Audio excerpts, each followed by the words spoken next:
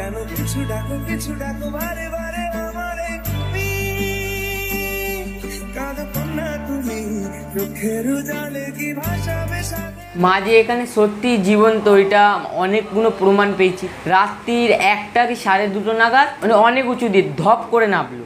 আর ছুমছুম ছুম করে মানে আমাদের বাবার ভৈরব দেবের ঘরে ছুমছুম করে আওয়াজটা চলে গেল।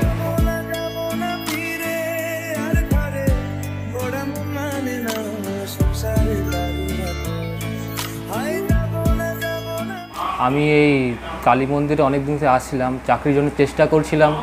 সে মায়ের দয়ায় আমার রেলওয়েতে চাকরি এইবার হয়ে গেছে দু হাজার তেইশ সালে।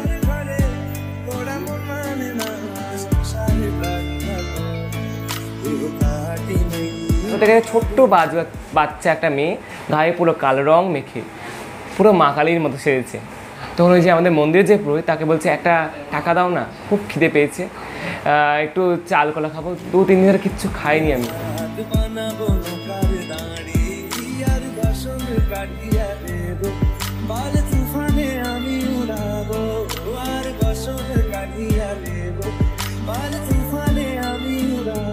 কলকাতা বা কলকাতার আশেপাশে কালী মায়ের মন্দিরের কথা উঠলেই দক্ষিণেশ্বরে মা ভবতারিণীর মন্দিরের কথা আমাদের মাথায় সবার আগে আসে। কলকাতার মধ্যেই ছড়িয়ে ছিটিয়ে আছে নানান ঐতিহাসিক মহাজাগ্রত কালী মায়ের মন্দির। তার মধ্যে অন্যতম এক মহাজাগ্রত কালী মায়ের মন্দিরে আমি আজকে চলে যাচ্ছি। এই মন্দিরের সাথে জড়িয়ে আছে নানান অলৌকিক ঘটনাবলী। যে ঘটনাগুলি শুনলে আপনাদের গায়ে কাটা দিতে বাধ্য। এই মন্দিরে শুধু সাধারণ ভক্তরাই নয়, নানান তারকারাও আসে মাকে দর্শন করতে। তো আজ কোন মন্দিরে যাচ্ছি, আপনারা এই মন্দিরে যেতে চাইলে কি করে যাবেন? সব কিছু ডিটেলসে শেয়ার করেছি এই ভিডিওতে। তো ভিডিওটি একদম স্কিপ না করে লাস্ট অব্দি দেখবেন। ভালো লাগলে লাইক কমেন্ট শেয়ার আর সাবস্ক্রাইব তো আছেই। তো চলুন শুরু করা যাক আজকের ভিডিও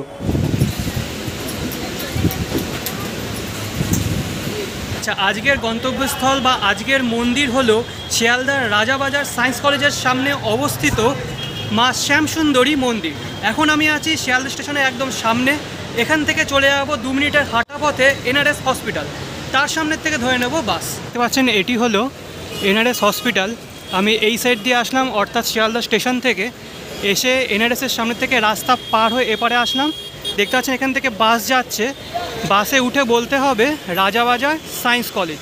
তো আমি এই সাইড দিয়ে আসলাম বাসে করে। এই সাইডেই পড়বে রাজাবাজার সায়েন্স কলেজ আর বোস ইনস্টিটিউট। এই রাস্তা ধরে সোজা চলে গেলে Maniktala crossing. Rajabazar science college আর বোস ইনস্টিটিউট ওখানে নেমে তিন মিনিট থেকে চার মিনিটের হাঁটা পথে রাস্তা পার করে চলে আসলাম the Calcutta homeopathic medical college ও হাসপাতালের একদম সামনে। বাসে উঠে আপনারা এই লোকেশনটাও বলতে পারেন। এই কলেজের ঠিক পাশে দেখতে পাচ্ছেন টিনের শেড দেয়া। এই রাস্তা ধরে দু মিনিট হাঁটলেই আজকের মন্দির। কিছু দূর এসে মানে দুপা হেঁটে দেখতে পারবেন এরকম পিঙ্ক কালারের একটা বিল্ডিং রয়েছে। তার পাশে একটা সরু গলি। এই গলি দিয়ে গেলেই ডান দিকে রয়েছে মন্দিরটি। ভেবে দেখ মন কেউ কারু মিছে ভ্রম ভূমণ্ডলে ভেবে দেখ মন কেউ কারু নয়। মিছে ভ্রম তো চলুন এবার মন্দির সম্পর্কিত কিছু তথ্য জেনে নেওয়া যাক। আমার নাম ইন্দ্রসেন শ্যামসুন্দরী। এই মন্দির দু হাজার একুশ সালে এই বাড়িতে মায়ের মন্দির প্রতিষ্ঠা হয় এই বাড়িতে আর মায়ের বহু প্রাচীনকাল থেকে মায়ের পুজো হয়ে আসছে। এই বাড়িতে দু হাজার একুশ সালের সেপ্টেম্বর মাস থেকে মায়ের পূজা অর্চনা হয়ে আসছে। দীপাবলিতে মায়ের তান্ত্রিক মতে পুজো হয়, পরের দিন মায়ের একটা বৈদিক যজ্ঞ হয়। সেই বৈদিক যজ্ঞের ওপর মায়ের ভোগ রান্না হয় এবং ভোগ রান্না করার পরে মাকে সেই ভোগ নিবেদন করা হয় আদি মহাপ্রসাদ। সেই মহাপ্রসাদ মাকে নিবেদন করার পরে মায়ের তান্ত্রিক হোম হয়। সেটা কালী পুজোর পরের দিন মানে দীপাবলির পরের দিন। এছাড়া প্রতি অমাবস্যায় মায়ের ভোগ হয়, পুজো হয় এবং প্রত্যেককে ফ্রিতে প্রসাদ খাওয়ানো হয়। আর পূর্ণিমাতেও দুপুরে সবাইকে প্রসাদ খাওয়ানো হয়। আর জগন্নাথ আছেন, মায়ের ভৈরব হলেন জগন্নাথ। কিন্তু এই যে যিনি জগন্নাথ আছেন, ইনার রথ বেরোয় না। কিন্তু রথের দিন আমাদের রথযাত্রা উৎসবের মতোই করে পালন করা হয়। আমাদের বিশ্বাস যে কোনো একজন ভক্ত আসবে এবং জগন্নাথের জন্য রথ বানিয়ে দিবে। আর একটি যেটা বিশেষ উৎসব পালন হয় আমাদের এখানে, যেটা পুরী এমনকি কোথাও হয় না, জগন্নাথের এই বিশেষ উৎসব, সেটা সজা রথ থেকে উল্টো রথের মধ্যে একদিন হয়। জগন্নাথের মান ভঞ্জন উৎসব। সেই মান ভঞ্জন করবার জন্য ছাপ্পান্ন ভোগ জগন্নাথকে নিবেদন করা হয়। হুম ছাপ্পান্ন রকম প্রসাদ। সেই ছাপ্পান্ন রকম ভোগ জগন্নাথের মায়ের ঘর থেকে জগন্নাথের কাছে যায় আর জগন্নাথকে নিবেদন করা হয়। তারপরে মা খেতে বসে।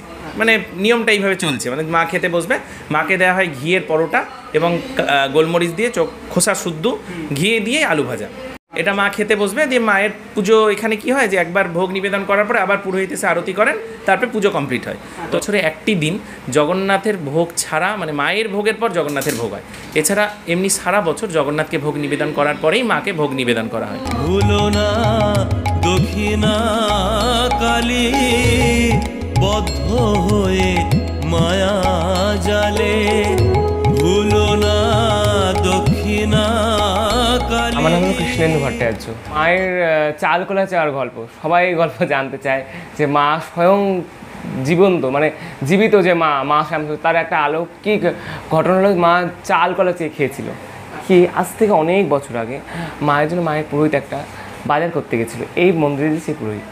বাজার করতে গেছে ছোট্ট বাচ্চা একটা মেয়ে গায়ে পুরো কালো রং মেখে পুরো মা কালীর মতো সেজেছে।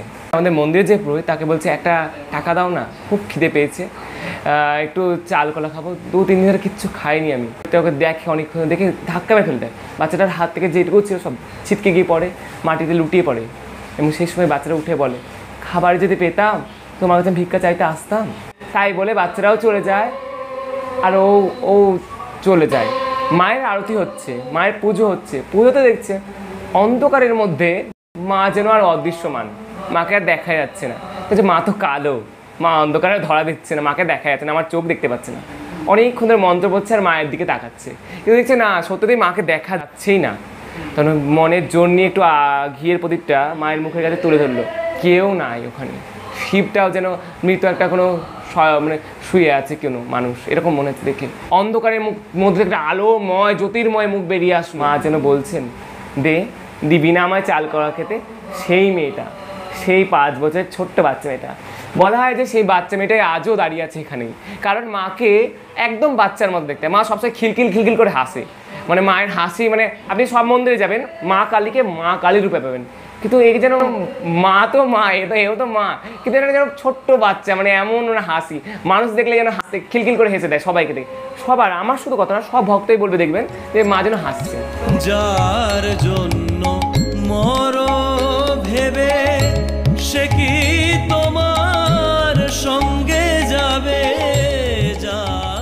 আমার নাম বলরাম শ্যামসুন্দরী। মা যে এখানে সত্যি জীবন্ত ওইটা অনেকগুলো প্রমাণ পেয়েছি। তার মধ্যে একটা প্রমাণ হলো আমার ঘরের মানে গেট যেখানে ঢুকে ওইটা কাঁচের মানে বাইরে সব কিছু মানে দেখা যায়, মায়ের পুজো হয়েছিল। রাত্রির একটা কি সাড়ে দুটো নাগাদ অনেক উঁচু দিয়ে ধপ করে নামলো। আর ছুমছুম ছুম করে মানে আমাদের বাবার ভৈরব দেবের ঘরে ছুমছুম করে আওয়াজটা চলে গেল।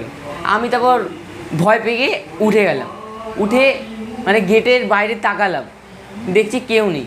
তারপর আবার একটু যখন তাকালাম, তখন দেখছি গোল করে একটা পিঙ্ক কালারের পাড় আর সাদা শাড়ি। ওই আমার অবস্থায় আমার অমনি শাড়ি পরেছিল।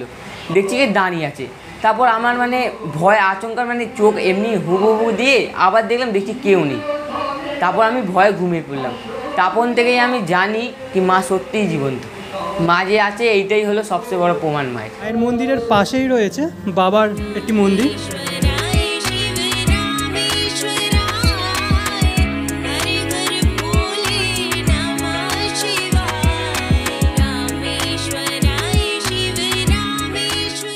আচ্ছা তো দেখতে পাচ্ছেন, এখানে ভোগ প্রস্তুত করা হচ্ছে আর ভোগে আছে পোলাও।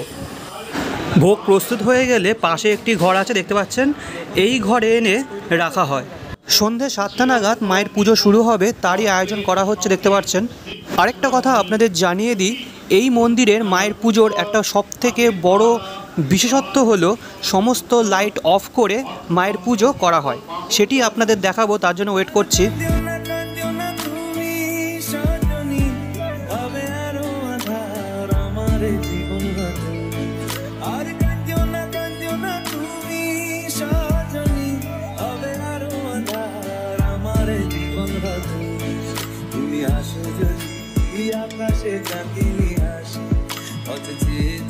আচ্ছা তো সাতটা বাজতে আর পাঁচ মিনিট মতন বাকি আছে, দেখতে পাচ্ছেন প্রধান পুরোহিত মশাই চলে এসেছেন, সেই সাথে নানান ভক্তরাও এসেছেন, কেউ কেউ এদের মধ্যে পুজোও দেবেন, আবার কেউ কেউ আছেন, মাকে দর্শন করতে এসেছেন। মায়ের ভোগগুলো এক এক করে আনা হচ্ছে, দেখতে পাচ্ছেন, প্রথমে আনা হয়েছে পোলাও, তার পাশে রয়েছে মিষ্টান্ন ফল। তো এই সমস্ত আয়োজন হয়ে গেলে শঙ্খ বাজানো হবে এবং লাইটগুলো অফ করে দেওয়া হবে। তারপর অন্ধকারে মায়ের পুজো শুরু হবে।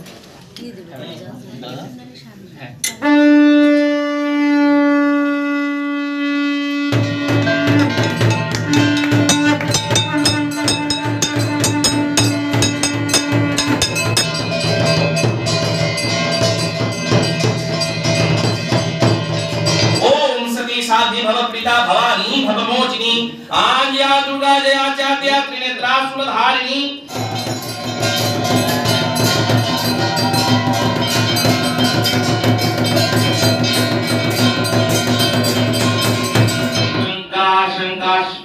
महादुतीं नरान्तरीं प्रणतो प्रणतोऽस्मि दिवाकरं।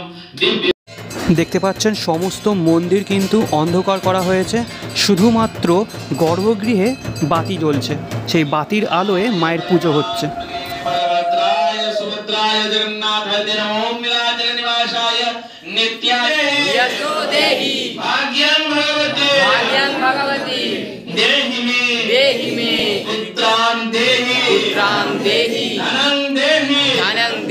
बलभद्राय कामांच्या काली काली काली काली काली काली के काली के पापहारिणी। धर्मार्थ। मोक्ष दे देवी। मोक्ष दे देवी। नारायणी। नमस्तुते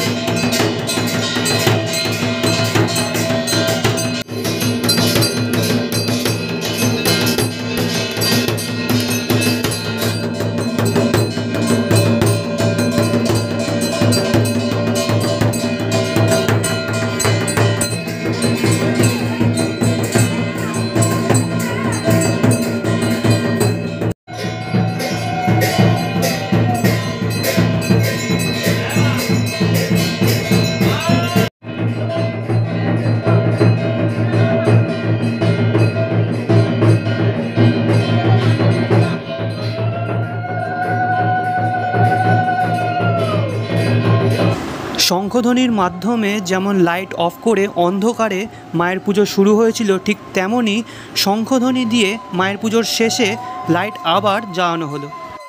মায়ের পুজো এর আগে অনেক মন্দিরে দেখেছি, কিন্তু এমন অন্ধকারে মায়ের পুজো প্রথমবার দেখলাম। এত অন্ধকার থাকা সত্ত্বেও সকল ভক্তগণ মায়ের মুখ স্পষ্টভাবে দর্শন করতে পারছিল। এটা এক আলাদাই অভিজ্ঞতা, আলাদাই অনুভূতি। সেই অভিজ্ঞতা আর অনুভূতি থেকেই মন থেকে ডাক এলো, জয় মা শ্যামসুন্দরী, জয় মা শ্যামসুন্দরী।